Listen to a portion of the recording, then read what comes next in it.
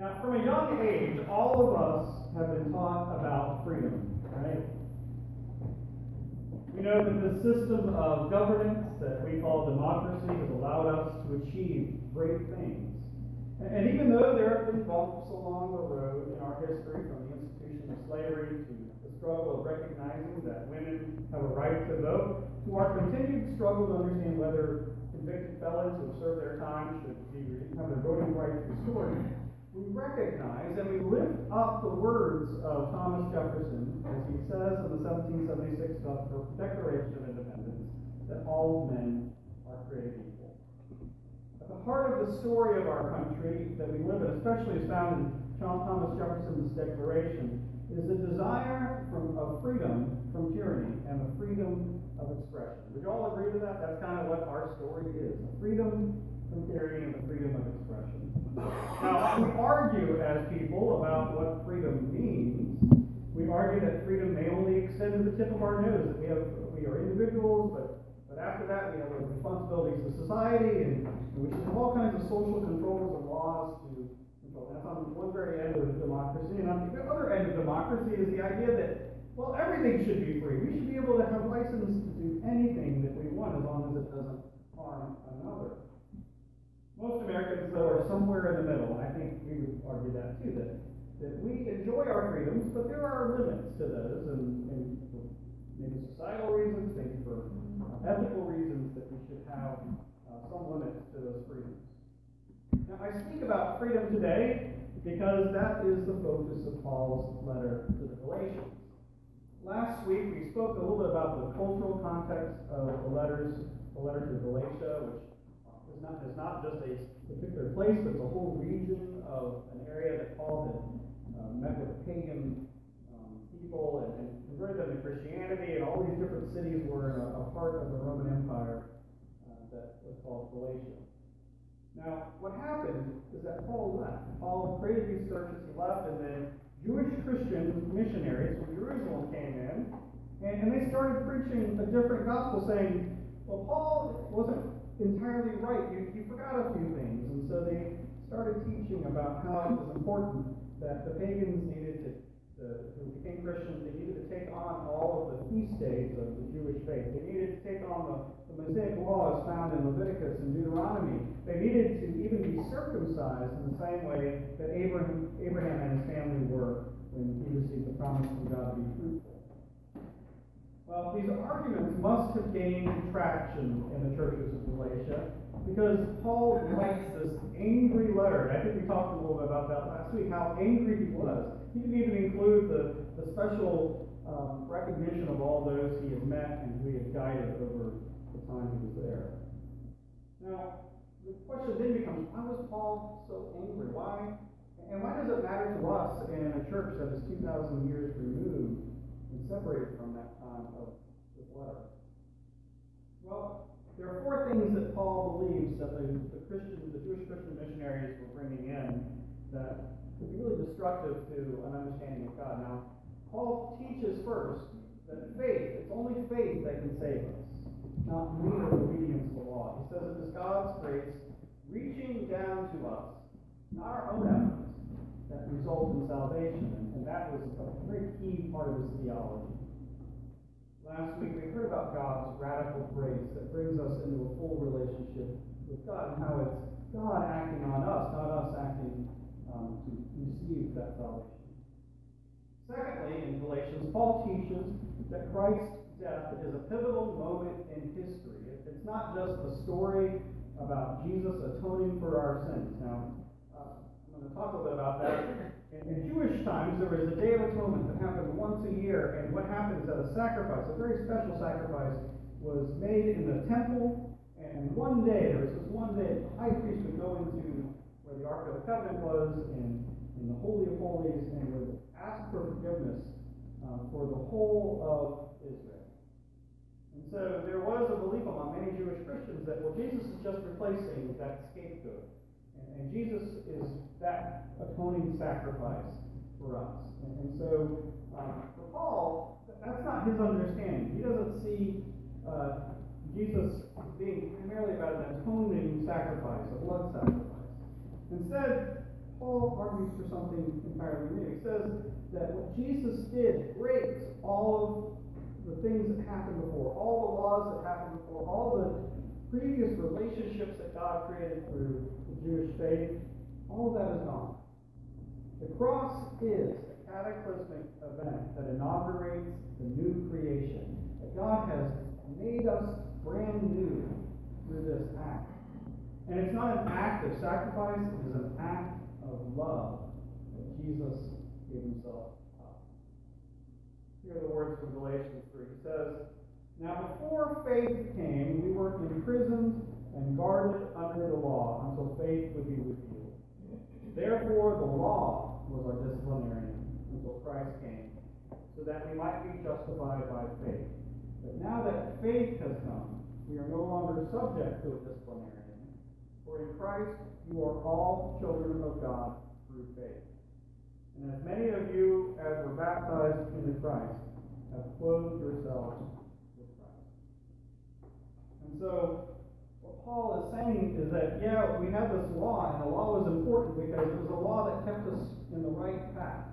But now that we have faith, it is faith that keeps us on the right path, not just mere obedience to law, because we could choose which laws to obey and which laws we don't want to obey faith and as a gift from God allows us to respond with love.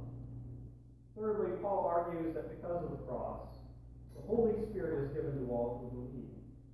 In the letter to Galatians, we hear that the Spirit gives us life, that the Spirit confirms our status as equal children of God, and that the Spirit transforms the character of what it means to be a part of God's holy community called the church.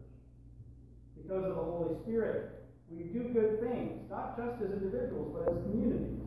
And we desire to please God in all the ways that we relate to each other to the world. And fourthly, because and finally, because God gives us equality, because the cross transforms the world, because we are no longer controlled by the things that enslave us, we have the freedom to love. We are united. There are no divisions. There are no divisions such as uh, gender, or there are no separations based on race, or based on where you come from, or based even on where you were in your religious heritage before you came to Christ. Writes there is no longer Jew or Greek, no longer slave or free, no longer male and female, for all of you are one in Christ Jesus. Now, I don't know about you, but do you hear echoes of Paul in Thomas Jefferson's Declaration of Independence? we go back to all men are created equal, really was, um, in some ways, kind of derivative of what Paul is writing here in Galatians, isn't it? Paul says that Christ has set us free. And in, in chapter 5 of Galatians, he says, You were called to freedom, brothers and sisters. Only do not use your freedom as an opportunity for self indulgence, but through love become slaves to one another. For the whole law is summed up in a single commandment. You shall love your neighbor as you love yourself. If, however, you bite and you devour one another, take care that you will not be consumed. So, Paul is, is warning us that, that freedom exists. Yes, we have freedom. We have freedom to be who we are, who we want to be. But don't let that freedom just be about self uh, enjoyment. It's about the freedom to love other people, that, that we are free not to do things because culture tells us or because that we feel shame over not you know, obeying the law or, or any of these things. Instead, we have a freedom from all those other things. We have the freedom to choose love each other. I think it's interesting. You bite and devour one another. Take care that you're not consumed by one another. Anybody feel that way about our modern culture a bit, that we like to bite and consume one another? A whole lot. Um, the thing is, we know that in America, freedom is not easy. Our history has taught us that. The words that were written in 1776 by Thomas Jefferson really have not been solidified. Even now, we try really hard to solidify those words. But um, you know, the British, it took 40 years before the British finally gave up trying to to defeat us. It was 1815 when the War, uh, of 1812 got ended. And they stopped trying to get rid of our government. Um, and again, we had a civil war. We, we argued about whether uh, people of different races uh, had as much status as another. Um, and again, we argued about uh, equality when it came to women receiving the right to vote. And again, we argued about equality when we had the Voting Rights Act of 1964 that finally ended legal discrimination. The struggle for freedom and what that means for all that exists in our country is still being wrestled with all over communities of our United States. And we struggle, I think, not only what freedom means as a community or as a country, but we struggle with what freedom means as individuals. And I think we choose um, to struggle with freedom because we struggle with the idea that we enslave ourselves to our selfish desires. We do things we ought not do. We get mired in secrets and in lies. We get caught up in traps of addiction and that are both physical and emotional. And Paul has his own list of things that he says, oh, here are the things of the flesh. Here are the things that will cause you to be enslaved and, and for you to just kind of make a joke of the freedom that God gives you. He says, live by the Spirit. Do not gratify the desires of the flesh. For what the flesh desires is opposed to God's Holy Spirit, and what the Spirit desires is opposed to the flesh. For those, these are opposed to each other, to prevent you from doing what you want. But if you are led by the Spirit, you are not subject to the law. Now the works of the flesh are obvious fornication, impurity, licentiousness, idolatry, sorcery, enmity, strife, jealousy, anger, quarrels, dissensions, factions, envy, murder, drunkenness, carousing, and things like these. Now, Paul was writing to a specific time and a specific place. But I think we could read these same ethical lists and say, yeah, there are many things that, that cause us not to have freedom in our world, especially when we get into conflict and we argue with one another and, and we gossip about each other. Uh, and even when we just engage our own selfishness and not consider other people in our lives. These are things that can um, be hindrances to freedom. And these things will also lead us away from God. and these things will lead us away from the freedom to love, not only ourselves, but others too. But Paul gives us hope. Because of Jesus, because of the cross, we are already experiencing God's freedom. We are set free from the slavery to sin and guilt when we follow God. But I think sometimes that freedom is overwhelming. Sometimes we get lost in the freedom of this world and we find ourselves looking back to the old ways of legalism instead of trusting the Holy Spirit to guide our community. Paul reminds the Galatians that the Holy Spirit bears fruit in the lives of believers. He writes, love, joy, peace, patience, kindness, generosity, faithfulness, and self-control. These are the fruits that combat the negative excesses of selfish freedom.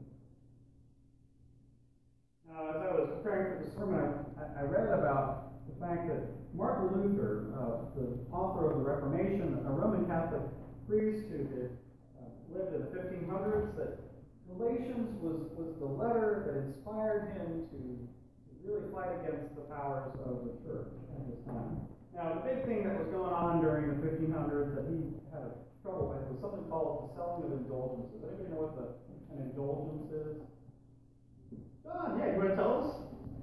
Sure. Um, it was back, back it was uh, essentially giving money to the church and saying, okay, you're free of sin, just go on the way now.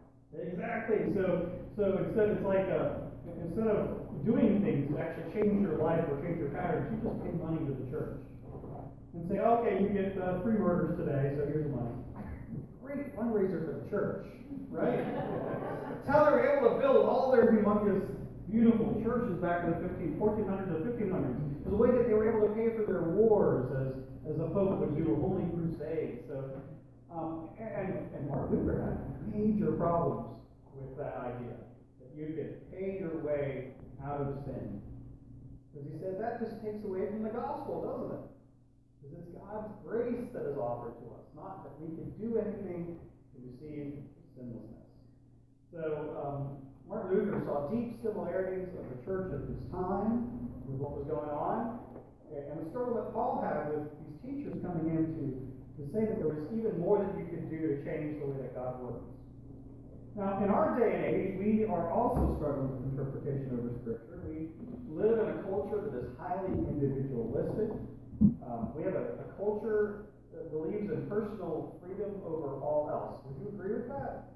I mean, we live in a world that is all about our own pleasure, isn't it? You know, as long as it doesn't hurt anybody else, you know, I can do whatever I want.